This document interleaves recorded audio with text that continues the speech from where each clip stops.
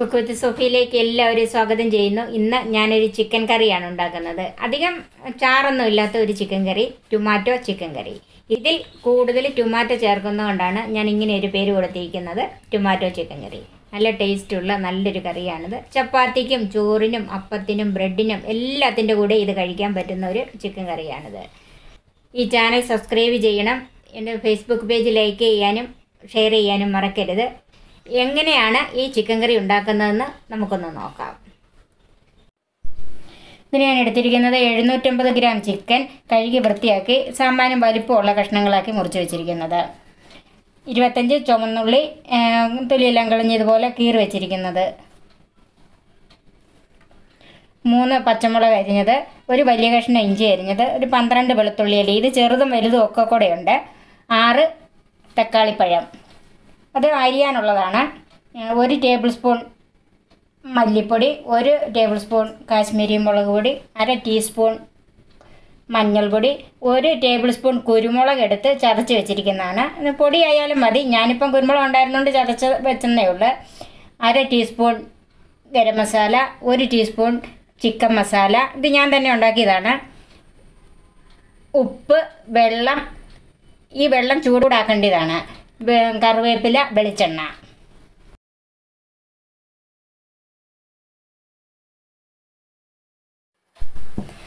ചൂടായ പാനിലേക്ക് നമുക്ക് ഒരു ടേബിൾ സ്പൂൺ വെളിച്ചെണ്ണ ഒഴിച്ചു കൊടുക്കാം.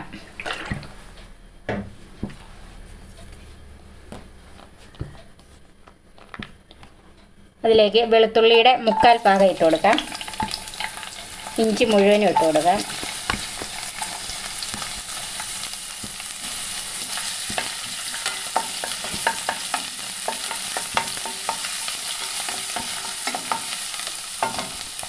ചുവന്നുള്ളി ചേർക്കാം.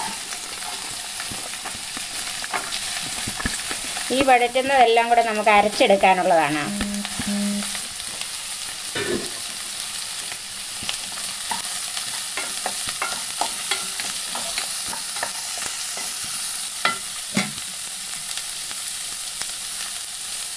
ഒരു രണ്ട് കറിവേപ്പില ഇട്ട് കൊടുക്കാം. തീ ഒന്ന് മീഡിയം ആക്കി വെക്കാം. ഇതിലേക്ക് ഇടാനുള്ള തക്കാളിപ്പഴം ഒന്ന് അരിഞ്ഞ് വെക്കാം. ഇതിന്റെ അകത്ത് ചൂടുവെള്ളമാണ് ഒഴിക്കുന്നത്. അതുകൊണ്ട് വെള്ളം ഒന്ന് ചൂടാക്കി വെക്കാം.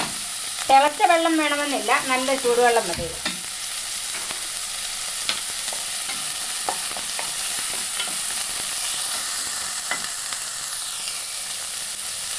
ഇതിന്റെ അതോടെ ഒരു അല്പം ഉപ്പിട്ട് കൊടുക്കാം.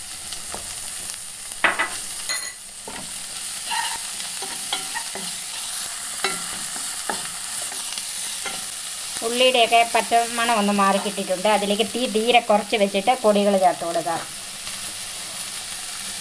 മല്ലിപ്പൊടി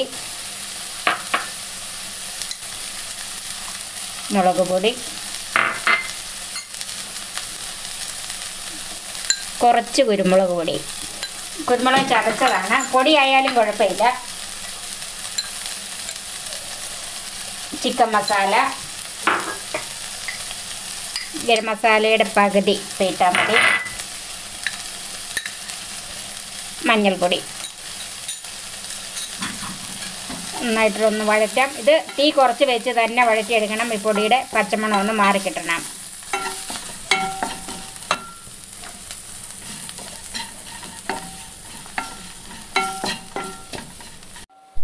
പൊടിയുടെ പച്ചമണമൊക്കെ മാറിയിട്ടുണ്ട്. അതിലേക്ക് മൂന്ന് തക്കാളിപ്പഴം അരിഞ്ഞത് ചേർക്കാം.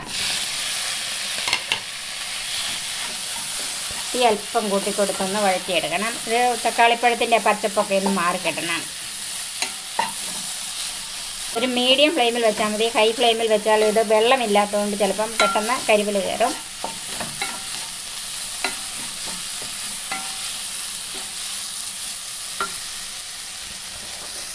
ഇതിൽ ചേർക്കുന്ന തക്കാളി ഒന്ന് ശരിക്ക് വാടി കിട്ടിയാൽ മതി. ഇത് നമ്മൾ അരച്ചെടുക്കാനുള്ളതാണ്.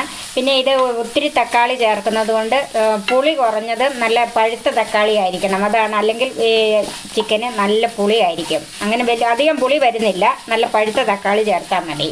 ഇനി അങ്ങനെ പുളിപ്പുള്ള തക്കാളിക്കായാണ് നിങ്ങളുടെ കയ്യിലെങ്കിൽ ഒന്നുകിൽ തക്കാളിയുടെ എണ്ണം ഇച്ചിരി കുറയ്ക്കുക. അല്ലെങ്കിൽ ഒരു അല്പം പഞ്ചസാര ചേർക്കുക അതിന്റെ കൂടെ. ഏറ്റവും നല്ലത് മധുരമുള്ള തക്കാളിക്ക ചേർക്കുന്നതാണ്. ആവശ്യത്തിനുള്ള പുളിയും കിട്ടും. ടൊമാറ്റോയുടെ ടേസ്റ്റ് നന്നായിട്ട് കിട്ടും. ഇപ്പോൾ ഇത് നന്നായിട്ട് വാടിയിട്ടുണ്ട്. ഇനി നമുക്ക് തീ ഓഫ് ചെയ്ത് തണുക്കാൻ വെക്കാം.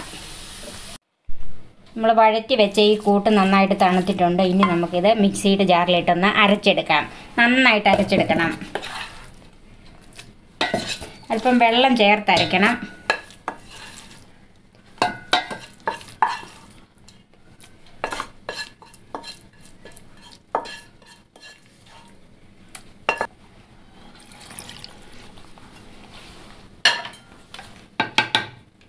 ഇനി നമുക്കിത് നന്നായിട്ട് നരച്ചെടുക്കാം.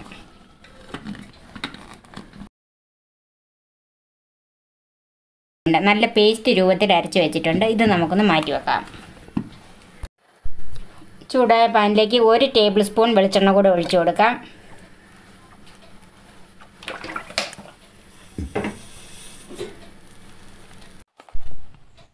എണ്ണ ചൂടായി അതിലേക്ക് ബാക്കിയിരിക്കുന്ന വെളുത്തുള്ളി ഇട്ട് കൊടുക്കാം.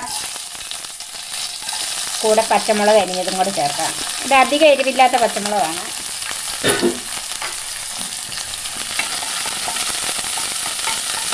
ഇപ്പം കറിവേപ്പിലയും കൂടെ ഇട്ട് കൊടുക്കാം.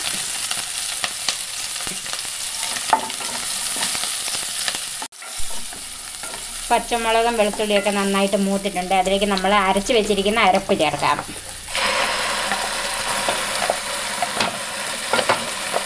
നന്നായിട്ട് വഴറ്റി വെച്ചതായതുകൊണ്ട് ഇനി ഒത്തിരി നേരം ഒന്നും വഴറ്റണ്ട.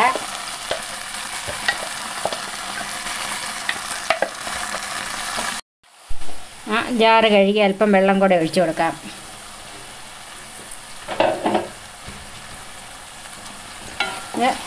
ഈ വെള്ളം പറ്റുന്നത് വരെ ഒന്ന് വഴറ്റിയെടുക്കാം.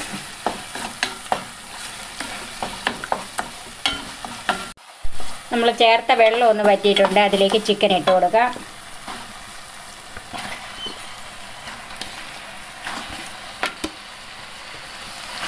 നന്നായിട്ടൊന്ന് മിക്സ് ചെയ്യാം.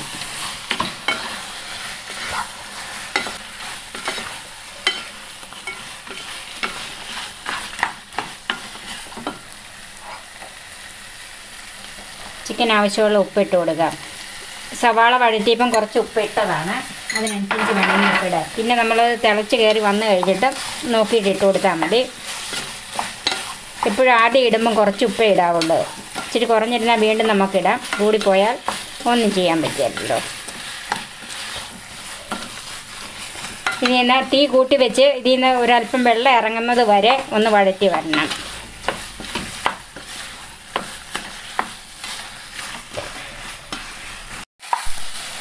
ചിക്കനകത്തുനിന്ന് ഇതുപോലെ വെള്ളം ഇറങ്ങി വരുന്നത് വരെ ഇതൊന്ന് വഴറ്റി കൊടുക്കണം. ഇനി ഇതിലേക്ക് നമുക്ക് ആവശ്യമുള്ള ചൂടുവെള്ളം ഒഴിക്കാം. ഇത് ഒത്തിരി ചാറ് കറി അല്ലാത്തതുകൊണ്ട് ഒത്തിരി വെള്ളം ഒഴിക്കരുത്. ഇത് നന്നായിട്ടൊന്ന് വെന്ത് ഒരു പെരളനായിട്ടിരിക്കുന്ന കറിയാണ്.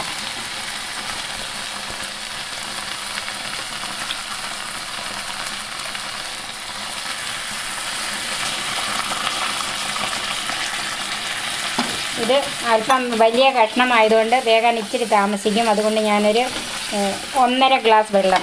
ഈ സ്റ്റീൽ ഗ്ലാസ്സിന് ഒന്നര ഗ്ലാസ് വെള്ളം ഒഴിച്ചിട്ടുണ്ട്. ഇനി ഇത് നന്നായിട്ടൊന്ന് തിളച്ച് കയറി കഴിയുമ്പോൾ ചെറു തീയിലിട്ട് വേവിക്കണം. ഇത് എല്ലോട് കൂടിയ ചിക്കനാണ് അതുകൊണ്ട് വേകാനുള്ള താമസം വരുന്നതുകൊണ്ട് ചെറു തീയിലിട്ട് തന്നെ ഇത് വേവിച്ചെടുക്കണം. അപ്പോൾ ഇത് നന്നായിട്ട് തിളച്ചിട്ടുണ്ട്.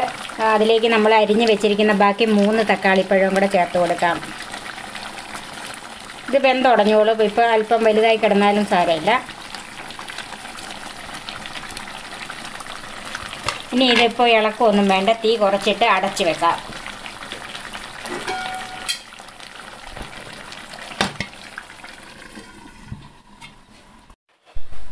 നമ്മളിത് വേഗം വെച്ചിട്ട് ഒരു മുപ്പത് മിനിറ്റ് കഴിഞ്ഞ് മുപ്പത്തഞ്ച് മിനിറ്റോളമായി ഇനി ഒന്ന് നോക്കാം.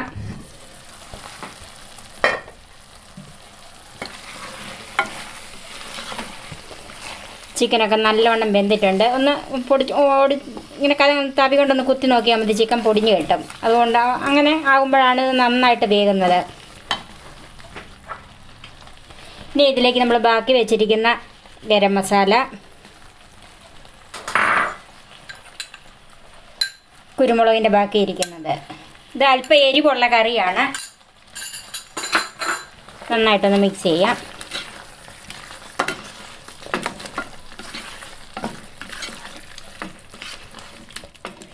ഇപ്പം പച്ചക്കറിവേപ്പിലയും കൂടെ ഇട്ട് കൊടുക്കാം.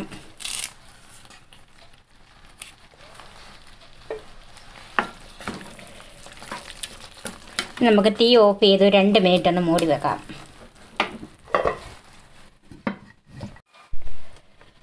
പച്ചക്കറി വേപ്പിലൊക്കെ ചേർത്തൊരു രണ്ട് മൂന്ന് മിനിറ്റ് ഒന്ന് മൂടി വെച്ചതാണ്. ഇനി ഒന്ന് നോക്കാം.